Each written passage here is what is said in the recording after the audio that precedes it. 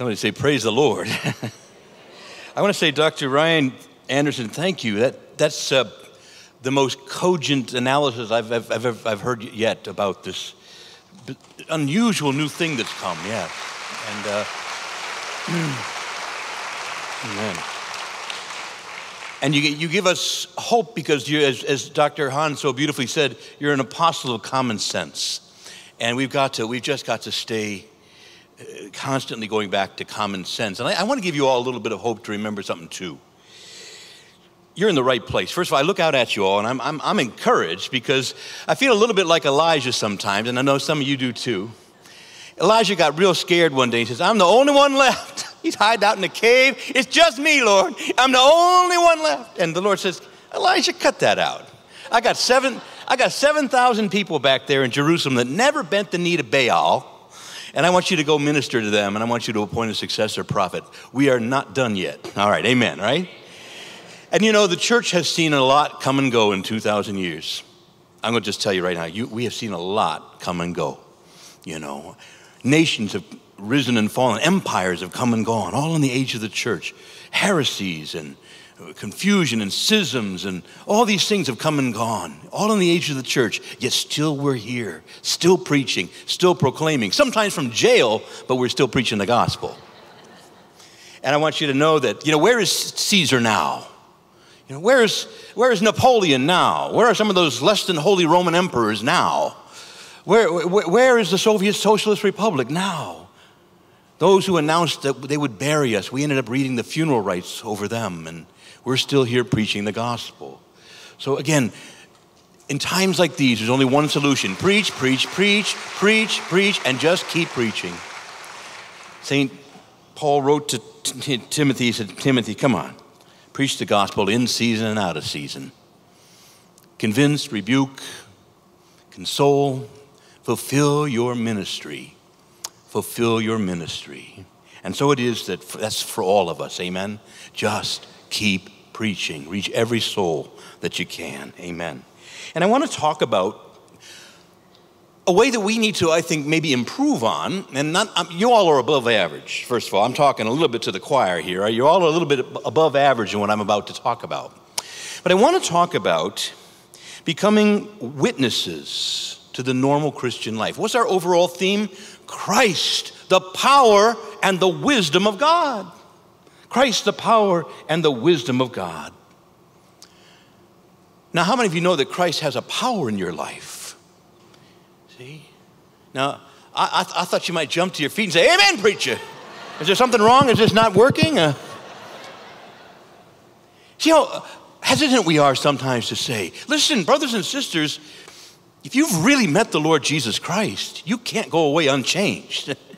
He's working in your life, and you know that He's the power and the wisdom of God. You've, and I, I, say no, I don't just mean intellectually know. I mean it like the biblical knowing, an experiential knowing. I'm a changed man since I met Jesus. Are you a changed person? How's He working in your life? What's He doing in your life? Brothers and sisters, Scripture is not simply some slogan. Scripture is a prophetic declaration of reality. And one of the things Scripture says is that if anyone is in Christ, he, she is a new creation. A new creation. And we've got to get in touch with how that's happening in our life and then become witnesses to others. See, one of the dangers is that we're content to quote saints, we're content to quote other people. We heard a, an interesting thing at a talk, and we'll quote, Well, I heard so and so say, uh, I, I heard a tape by Dr. Scott Hahn, and he says this, and okay, okay. But there has to come a moment in your life when you can say, Yes, the scripture says, my pastor says, my mother said, Dr. Hahn says, but there has to come a point in your life when you have to raise up your hand and say, And I say, and I also say, I add my amen that everything that the church teaches and proclaims and teaches down through the centuries is true because in the laboratory of my own life, I've come to find that it's true. I've tested it in the laboratory of my life, and I know that it's true that sacraments work, that prayer works, that, that, that, that, that getting to Mass and praying works. I know it because it's changing my life. Do you have a testimony? So let's talk for a minute about what does it mean to be a witness? And what do we mean by this normal Christian life or this, this transformative Christian life? Well, first of all, what does it mean to be a witness? To be a witness means that you are able to testify to what you yourself have seen and heard and experienced. Now, go with me to a courtroom. And let's say that you're in the witness stand and you've been sworn in, and one of the attorneys says to you, Did you see such and so do so and so, or did you see so and so do such and so to so and so? And you go, Um, I think so. Does that sound like a witness? Yeah. Why don't you get off the stand? You're making our case worse here. Uh, did you see what? Did you see it happen? Um, I think so. Hmm. Well, let's let's try another example. So there you are. You're in the witness box, and um, you know you you say did you? Did they ask you the same question. Did you see you know such and so happen? Um, well, that guy over there told me. No, no, I don't want to know what that guy said. I want to know what you saw. Well, that lady over there. Uh, uh-uh. uh Okay, I tell you what. You get off the stand. Let's get that other man sworn in. Let's get that other lady over here. You see, a witness says what they themselves have seen and heard. So here's a witness. You're in the witness box. You raise your right hand. You've been sworn in. And they ask you a question Did you see so and so do such and so to so and so? And you said, Yes, and I'll swear to it. That's a witness. Yes, and I'll swear to it. And you see, the Lord doesn't just want us to repeat what other people have said. He wants you in the laboratory of your own life to know and get to know Him and what He's doing in your life so that you can personally testify that Jesus Christ is alive and well and He's changing my life. My life will never be the same because Jesus Christ has died for me and risen, that the power of the cross to put sin to death and bring grace alive in my life is true because it's happening in my life. And so it is that we, I think, as Catholics, are not as good at that as others, being witnesses. You know, I think that uh, there's a lot of traditions that even people sometimes come up and they give testimonies. Here's what the Lord is doing in my life. And those who've been in the Protestant churches know that some of those stories get a little exaggerated. I was the worst of sinners. I was the, no worse sinner than me. And Jesus saved me. Now I am, I'm just perfect from top to bottom. Uh, faults in others I can see, but praise the Lord, there's none in me. you know, no, no, there could be a little exaggeration, right? Hmm? But no, you see, what to be honest, look, what is Jesus Christ doing in your life? Now, most of you are faithful to getting to Mass every Sunday, and maybe even more often. And you're praying, and you're studying your faith, and you're reading Scripture. So, what's that doing in your life? How's it changing? How's it changing you? I promise you it is. Now, the devil wants to take away the knowledge, but I promise you it is. Now, what is the normal Christian life? Now, when I say normal, I don't mean statistical normal that almost everybody gets here. I'm talking about normative normal. The, the life that Jesus Christ died to give you. What is it? First of all, it is to be in a life changing, transformative relationship with Jesus Christ. It's to be in living, conscious contact with the Lord all throughout your day. That's the normal Christian life. When I was a younger man, I could go for days, sometimes weeks, without ever thinking of God. That's not normal. You might say I was, I wasn't so much running a temperature, I was, my, my body temperature had tanked, right? The normal Christian life is to be powerfully aware of the Lord every day and joyfully aware of what He's doing in my life. And even in the struggles and the difficulties I'm going through, that somehow I know, Lord, that even my struggles are producing good things for me. For the Bible said, I did check it this morning, y'all. I looked it up just to make sure that the Holy Spirit had not blotted out the text. It is still in Romans 8 and verse 28 that all things work together for good for those who love and trust the Lord. Now, still in their church, so that even the difficult things, even the painful things in your life, somehow they work for your good. You've got a testimony, don't you? Uh, hmm, uh, I think so. Um, brothers and sisters, we've got to get better at being witnesses. We've got to get in touch with the normal Christian life, right? Which again, let me just review some qualities of it, all right? I'm going to read you some scriptures in a minute to fill it in, but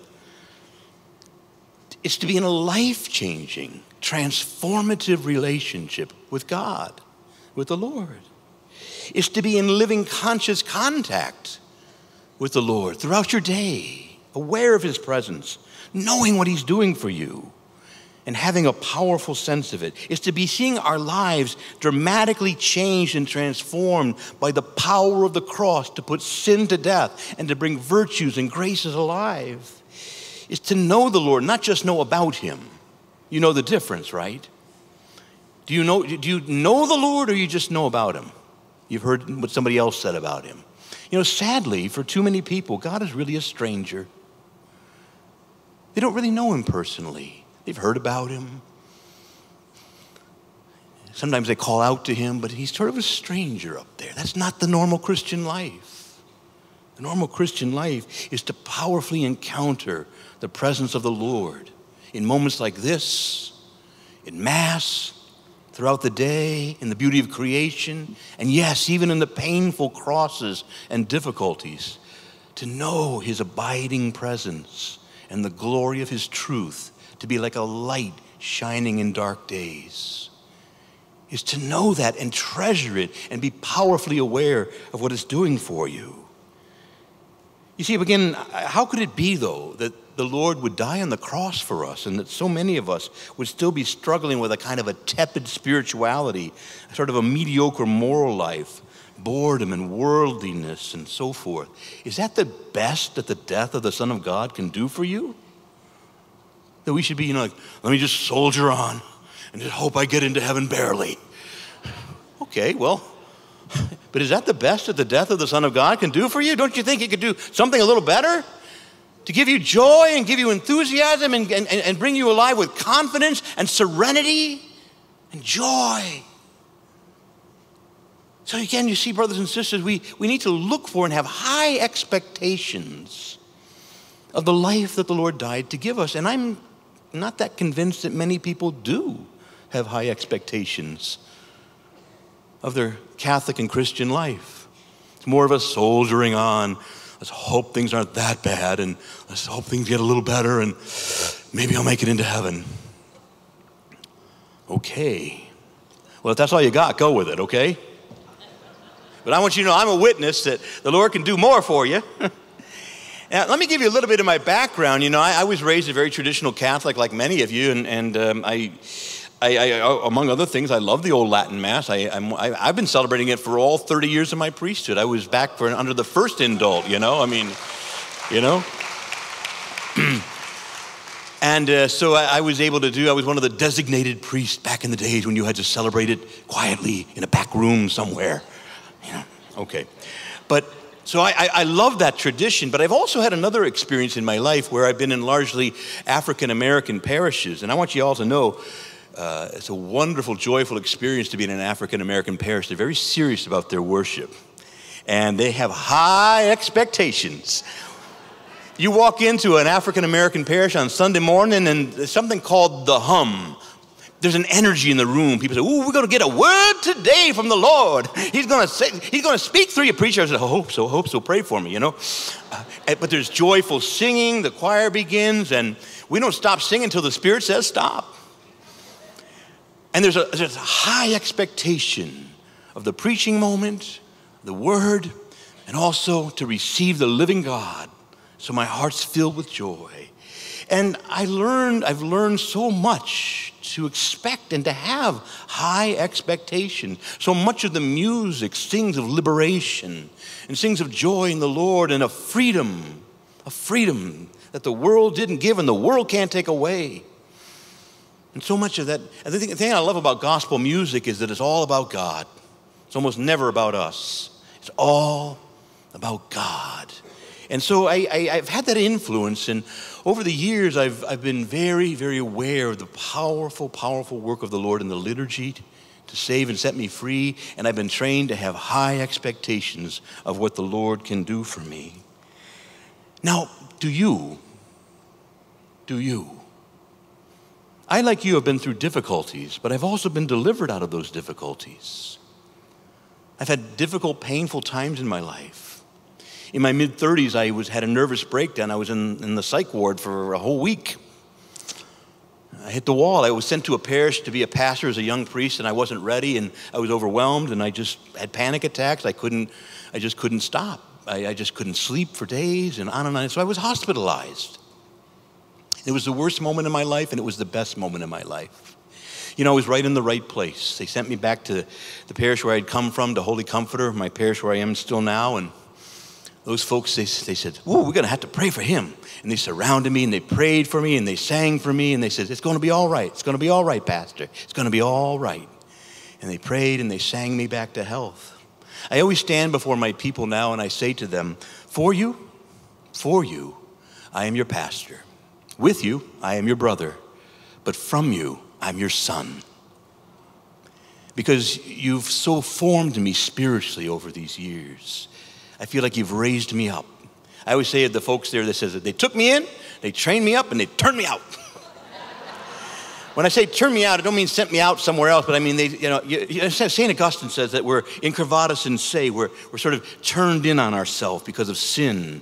And one of the goals is to be turned out toward God and toward others, giving and receiving love, to be a man, a woman for others, and to find such joy in loving and serving God. And I've learned to have high expectations.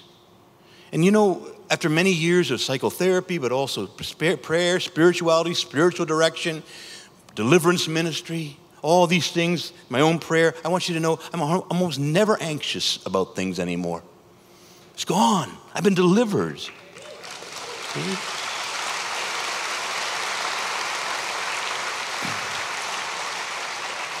And I've seen so many positive things come alive. I'm more serene, I'm more confident, I'm more joyful. I have gifts that I never knew I had, and now I use them. And so I can only just say, Thank you, Lord. And I've learned to just know that I, will just I'll quote a gospel song here I'm not what I want to be, but I'm not what I used to be. I am not what I want to be, but I am not what I used to be. A change, a change has come over me. There's so many beautiful things that we sing about in gospel music about deliverance, and there's so many ways of just uh, being excited about you know what the Lord's doing in our life. One of the songs that we sing in my church and many a Sunday is uh, it just says, "He's done so much for me, I cannot tell it all. I cannot tell it all." Oh, brothers and sisters, it's a, beautiful. it's a song you have to kind of dance while you sing. He's done so much for me. Anyway, well, I'm boring with that. Another song just says, and these are old gospel songs, you know, great change since I've been born. There's been a great change since I've been born. Hmm? Places I used to go, I don't go no more. Things I used to do, I don't do it no more because there's a great change since I've been born. Another song says, When I look back over my life and I think things over, I can truly say that I've been blessed. I've got a testimony. I've got a testimony. Another old song just says, I was sinking deep in sin, far from the peaceful shore, deep, very deeply, stained within and sinking to rise no more. But the master of the sea heard my despairing cry, and from the waters lifted me, and now safe am I. Love lifted me when nothing else could help. Love lifted me. You see, there's some of those old hymns and things really train people on how to testify. And to some degree, we don't sing a lot of those kinds of songs. I, I saw we sang some of them tonight, speaking about how the Lord's delivered us.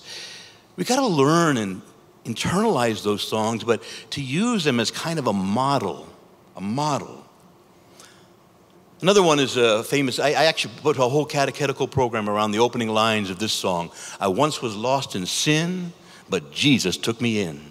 And then a little light from heaven filled my heart. He bathed my heart in love and wrote my name above. And just a little talk with Jesus made me whole. These are, these are ways that we can train in giving some testimony. You know, I can only just say, and I, am so powerfully aware now, one of the greatest gifts God has given me in more, recent times is just this immense gratitude. I am so grateful to God for what He's done for me. I'm just so grateful. And you know, grateful people are different. You know, every Sunday at Mass, Jesus says something to you. He says, Remember. Sometimes I think it's right now in our current translation, do this in memory of me.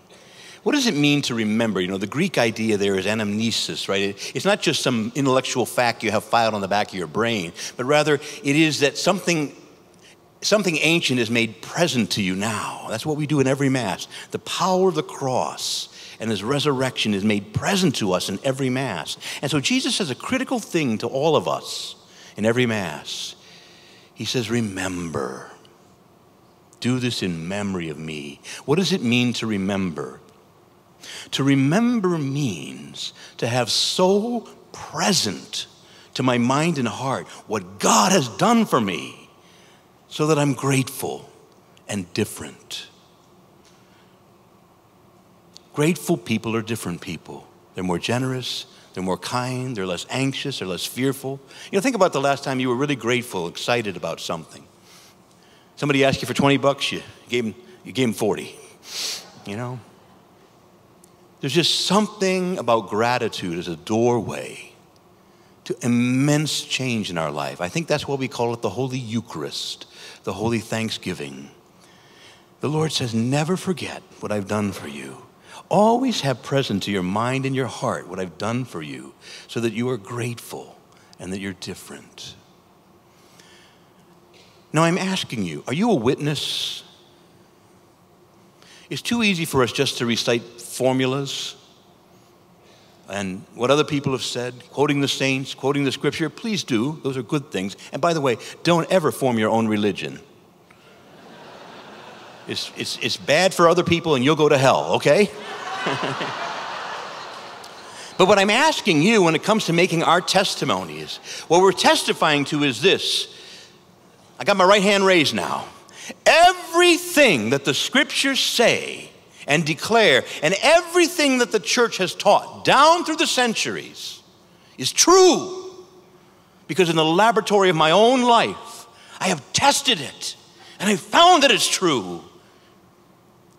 My life is changing. My, my, my, my whole life is different because I've given my life to the Lord and because of the sacraments. Now, a lot of parents come to me and they say, Father, I sent my kid to Catholic school. I sent them to, I, I, I tried to give them everything, and none of them go to church now. What am I supposed to do?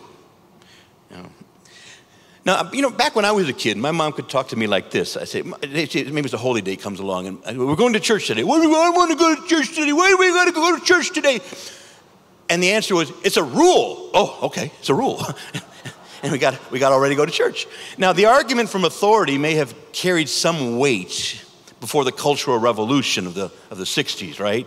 But now, the fact that it's a rule is even another additional reason not to do it, right? So, what are you going to do to get your kids back to church? So, here's my question to all of you, and my, the way I say to some of the folks in my own parish How am I going to get my kids to go to church? Well, why do you go to church? What do you get out of it? Oh, um, hmm, maybe I feel less guilty. I checked off the box, you know, check off the God box. Why do you go to Mass? Do you have a testimony? Now, look, I'll tell you why I go to Mass. You go, well, Father, you got to go to Mass. You're a priest. okay, but I want you to know why I really go to Mass. I go to Mass because when I walk in there, I'm in God's house, and Jesus Christ puts on priestly robes and he walks the aisle of my church. And he goes to the he goes to the altar, he goes to the altar and he greets me. And he listens to me, and he speaks a word to me, and he ministers to me, and he feeds me with his body and blood and I'm filled with joy. That's why I go to Mass. Why do you go to Mass? Is that why you go to Mass? I go to Mass to encounter Jesus Christ. He puts on priestly robes and He ministers to me. He speaks a word to me that changes my heart, that answers my questions, that gives me healing and grace. And then He takes His ordinary bread and wine and he turns it into his own body and blood and he feeds me with his own body and blood, I can't begin to tell you what a difference that's made in my life. Brothers and sisters, I'll continue on with my testimony. For the first 20 some years of my life, I would say I was not very spiritual. But once I finally entered the seminary, I want you to know I pray every day for at least an hour. I get to confession once a week, get to Mass every day. I read God's Word every day, and I walk in holy fellowship. And I want you to know I'm a changed man. Now, I'm not what I want to be, but I'm not what I used to be. I got a long way to go, but He's brought me a mighty long way, a mighty long way. I'm more confident, I'm more joyful, I'm more serene, I'm happier. My life is more meaning and purpose, and even my sufferings, I understand them now in a way I never did before. And even in difficult and dark days, I feel sustained by the Lord. Oh, that's why I go. Now, I'm just trying to model for you what it sounds like to testify. And I want you to know, let's just get back to our children for a minute. Parents, grandparents, great grandparents, your children are hungry to hear something like that from you. We Catholics had a bad attitude. We, we don't talk about religion in the house. We leave that to the priests and the nuns over there at the church. Really? And again, do your, do your children know how much you love the Lord and how good He's been? Do they know your story? Now, Dr. Ralph Martin, who many of you know and love, as you know, he teaches at the seminary up in Sacred Heart in Detroit, and he, um, he has a little rule for most of the seminarians that he teaches. He says, I want all of you to put, get your testimony together. Now, I want the three to five minute elevator version, all right? I don't want the long 25 minute version, okay? But he says, I want you to put your testimony together. I want to know how you met Jesus Christ and what he's been doing for you. And don't give me your vocation story, he says, because some of you are hiding behind that.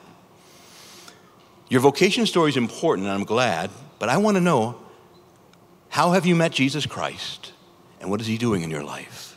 And I want you to be very personal about it. And every day they begin class, one of them has to stand up and give the three to five minute elevator version.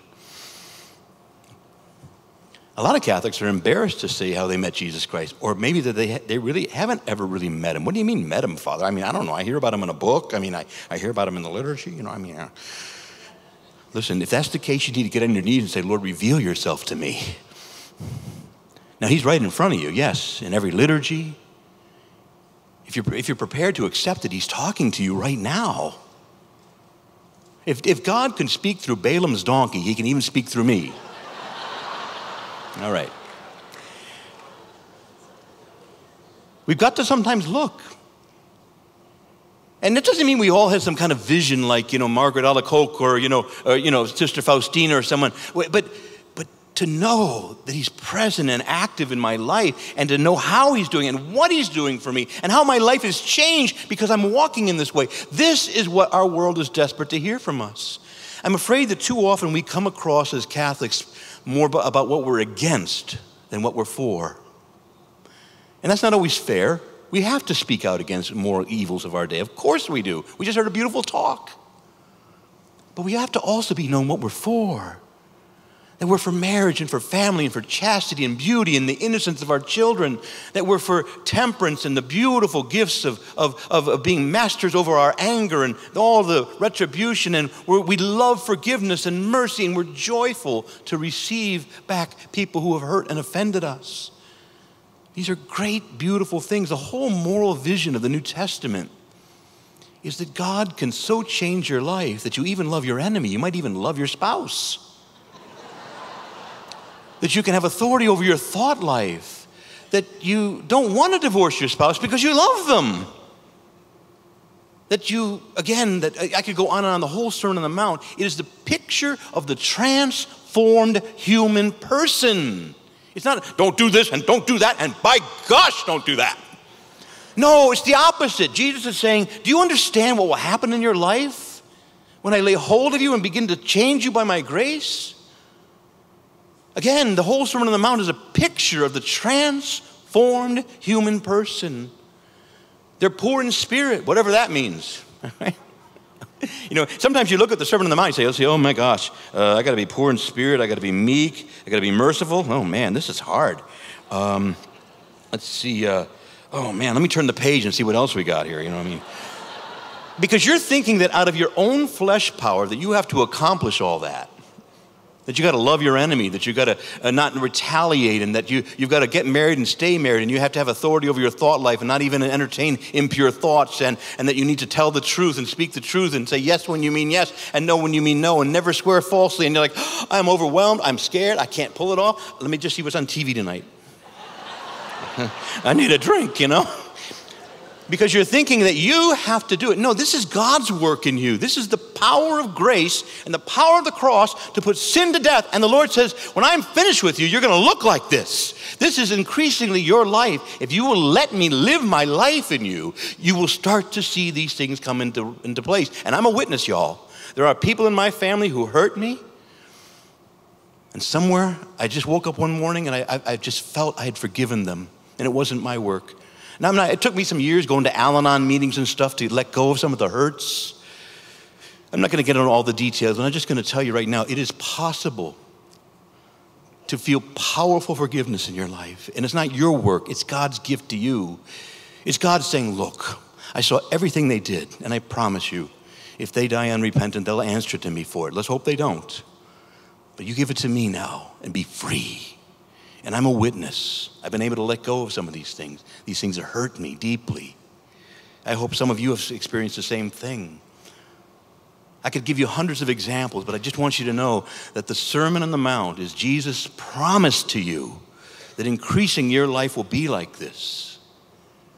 If you just let His grace go to work in you and let your life become like a laboratory and say, Well, Lord, it says here in this Sermon on the Mount that. Um, um, that I, am I, I'm not to divorce my wife, uh, but what you're really telling me is that I have the capacity to really love my wife or my husband. Lord, let's, let's try that out. I need some help. Help me to really love my spouse with a tender, beautiful love that I had when I first laid eyes on them. Let's go to work, Lord. I need help. I need to love some of my children who have disappointed me, and I'm angry with some of them. You go to the Lord and talk to Him.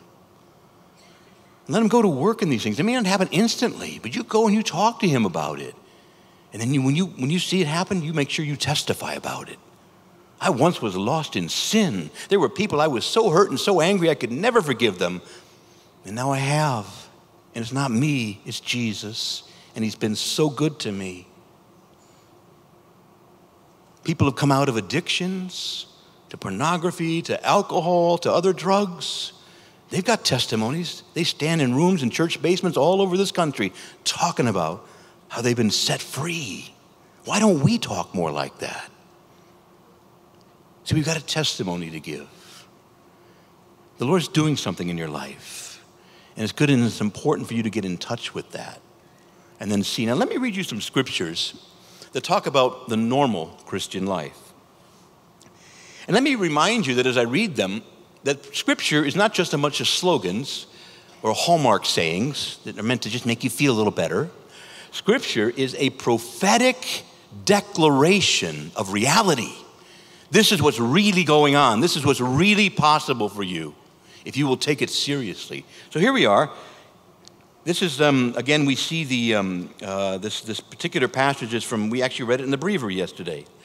2 Corinthians chapter 5 and verse 17. If anyone is in Christ, he, she is a new creation. The old things have passed away, and behold, all things are made new. Is that just a slogan? Or is that a prophetic statement of reality that's available to you if you will just lay hold of it and take it seriously? What is new in your life? What are the old things that have been put away? And what are the new things that have come alive? This world needs to hear from you and me what those new things are and the old things that you've been able to set aside by the power of God's grace and only by the power of God's grace. I love the Lord. He's been so good to me. He's done great things in my life. Old things went away and new things have come alive. Or again, we see in Romans chapter 6, the mini gospel, right? Are you not aware that we who were baptized into Christ Jesus were baptized into his death? And by baptism, we were buried together with him, so that just as Christ was raised from the dead by the glory of God the Father, we too might walk in newness of life. Are you walking in newness of life? How? Let the Lord anoint you. to know what He's done for you. He's telling you, you walk in newness of life. I've taken you out of the kingdom of darkness and I've brought you into the kingdom of light. What's that doing for you? Does it give you clarity? Does it give you joy? Are you in touch with that at all? Remember, Satan wants to rob you of this. Or again, I'll read another one here uh, from Scripture. We see that, um, um, yeah, the, the, this is from uh, 2 Corinthians in the third chapter. And we, who with unveiled faces reflect the Lord's glory, are being transformed into his likeness with ever increasing glory that comes from the Lord, who is the Spirit. Again, we are being transformed into God's likeness with ever increasing glory. Is that happening in your life? How? What's he doing for you? Are there some sins he's put to death? Are there some graces he's brought alive? Maybe a joy you never thought possible? What's, what's he doing in your life? These are the questions that we need to ask. But you see, these are describing the normal Christian life, which is to be in a life changing, transformative relationship with the Lord Jesus Christ. I tell you just one example. If you are reading Scripture faithfully every day, meditating upon it, your whole thinking will change the way you think. I, am not, I don't think in the same way I did 35, 40 years ago before I got serious about my spiritual life. I have completely different priorities. What I, what I value is completely different. I don't see people the same way. I don't see anything the same way. I see it in a better way, in God's way. The Lord wants to allow, just transform our minds. You just sit with Scripture, and I promise you a new mind. And sow a thought, reap a deed. Sow a deed, reap a habit. Sow a habit, reap a character. And sow a character, and reap a destiny. And it all begins in your mind. Get on your knees every day and say, Lord, speak. Your servant is listening. I'm a witness. I am not the man I used to be because of the Word of God, just reading that Word day in and day out, and then receiving the Word made flesh in the Eucharist made every bit of difference in my life. So these things are describing the normal Christian life to be in a life changing, transformative relationship with the Lord, to be in living, conscious contact with Him, to be joyfully, powerfully aware that He exists, that He's active in my life, and I can articulate what He has done for me and what He is doing for me. And we shine forth as men and women of hope even in difficult moments, we all go through them. There's deep down, there's a, a, a, he kindles a fire that never dies away. Now, I want to say to uh, read just a couple of other things from the liturgy, just so you know that even in the liturgy we speak about these things. This is from the Easter preface, number four. For with the old order destroyed, a universe cast down is renewed, and integrity of life has been restored to us. That is a prophetic declaration of a different life, of integrity that's been offered to you in Jesus Christ. Or again, this is from the fourth Sunday of Easter. Grant, we pray, O Lord, that we may always find delight in these paschal mysteries, so that the renewal constantly at work within us may be the cause of our unending joy. Now, you, you know, here's the danger. You know, you're sitting there at the liturgy, and the priest says, Let us pray. And you go, Uh huh and you're tuned out, and maybe he's even tuned out. Listen to these words again, because this was said to you several times during the last Easter season. Grant, we pray, O Lord, that we may always find delight, not boredom. You know, sometimes you look at a Catholic Mass and you think, man, are we at a funeral or a wedding? What are we dealing with here, you know? Bored believers, distracted disciples, the frozen chosen, you know? The frozen chosen. Okay. Now, look, I, I don't mean everyone's got to be like, ah, you know, giddy. Uh, I know that there's a, there's a certain piety, but I mean, do you find, you, is your heart alive and joyful? Or are you thinking, oh, I got to remember to get to the store and get some more chicken broth because, you know. Okay. So, okay, so, so the priest is praying. Lord, grant that we may always find delight in these Easter mysteries so that the renewal, the renewal constantly at work within us, may be the source of our unending joy. You see, the priest, who is really Jesus, is inviting you to be in touch with the normal Christian life, to see your life being changed, the renewal constantly at work, giving you a joy and a confidence. Happy to announce that the Lord's been so good to me. And so, again, what I would say that if we're going to defend the faith, we don't want to, we, we want to master the arguments. We don't just want to win arguments, of course. We want to win souls. We've heard this. But, but one of the ways you win souls is not just by overpowering them with information, but by showing them the beautiful gift that these truths are changing your life and making you joyful and different. And the question is how? And that's for you to get on your knees and ask the Lord about. Do you have a testimony? And what is that testimony? Let me just be Dr. Ralph Martin for you right now. I want every one of you to get on your knees and ponder what the Lord's done. I want to find out how did you meet Jesus Christ? How do you know God the Father and the Holy Spirit? And what are they doing in your life? And give us the three to five minute elevator version. But I have a, I, on my blog, I have a, a, longer version, you know, about a, I would call it my, my, my, my 20 minute version. I also have my three to five minute elevator version. And you can go to my blog and find out writing your testimony and you can, you can study up on that a little bit. I just want you to know that's my story, but you got your story. Now, every now and again when I talk like this, people kind of get sad because I say, man, that's, I don't know. I don't know if he's done anything for me. I've had a miserable life and I just don't know. I feel kind of depressed sometimes, you see. If that's the case, I want you to again get back on your knees and say, Lord, I know that you did not send your son to die for me so that all I could do is be depressed and bored and not happy with how my life has gone. Lord, you have been good to me in ways I don't even know or understand right now. Please anoint my mind, anoint my heart. Because I'm in a world, Lord, that desperately needs to hear how good you are and that your truth is freeing, not limiting. I've been free. Teach me how you have freed me by your law, by your truth, by the beautiful wisdom. Jesus Christ, you are the power and the wisdom of God. And that wisdom, that law, that vision is meant to save me and change me and transform me. Brothers and sisters, the Word of God doesn't simply inform, it performs and it transforms. In fact, the very word gospel, if you get Cardinal Ratzinger's book, he wrote it as Pope Benedict, but he says, I'm just Joe Ratzinger here, it's just my view. But so he didn't write it as the Pope, that he was clear to say that. But he says that about chapter about page 44 of volume one, he talks about the, the word gospel, evangelion. And he says how, you know, the ancient emperors they, um, they, would, um, they would issue these things called evangelion, which meant, you know, we translate, you know, this word evangelium or evangelion as good news in, in modern English, but that doesn't really quite get to the depths of what it is. It's richer and deeper than that. The word gospel, the emperors would, let me give an example.